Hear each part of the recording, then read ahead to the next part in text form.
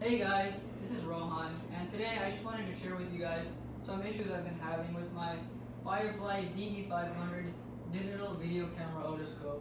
So let's get right into it.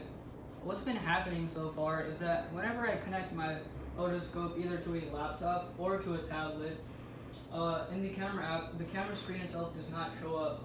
This means that anything the otoscope outputs, whether it be videos or pictures, I can't see it on my screen itself. So today I'm going to demonstrate that to you um, using my tablet and my laptop. So here is the otoscope itself, the DE500, right out of the box.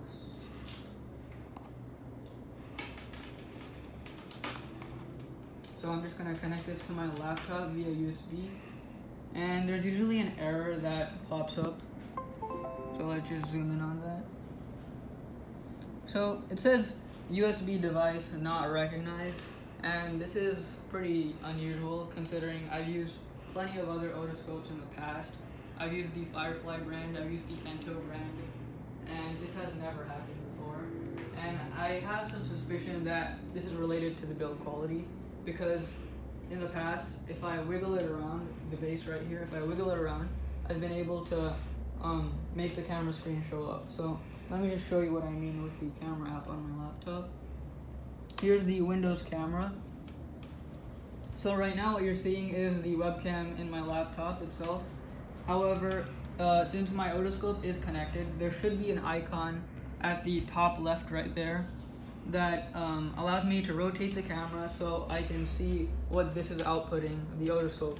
However, that's not showing up. With other uh, otoscopes, that does show up, so there is a problem here. Um, but definitely I can say that there is something going on inside of this instrument itself because there is a red light flashing, a red LED right there, and um, the white light inside of the camera itself is also flashing. So there must be something going on that's wrong inside. Uh, again, wiggling it has worked once or twice, but that's not an effective solution. Uh, so now that we're done with the laptop, let me just show you what happens when I connect it to my tablet. So I brought here a brand new Huawei MediaPad L Lite 310. So I'm gonna unbox this. Um, it is new, but I've already set up already set up the camera app. So here is the USB camera app that I've been using with all of my otoscopes. I've had no problem so far, except for this one. So if I just open this. So when I do connect, so here is the Firefly otoscope. I'm just gonna connect this via USB and via OTG, my bad. And if I connect this to the micro USB port on the tablet, there should be a camera screen that pops up right here that shows me what's going on.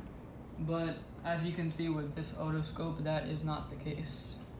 And again, there is a red light here flashing, and there is also the white light from the camera.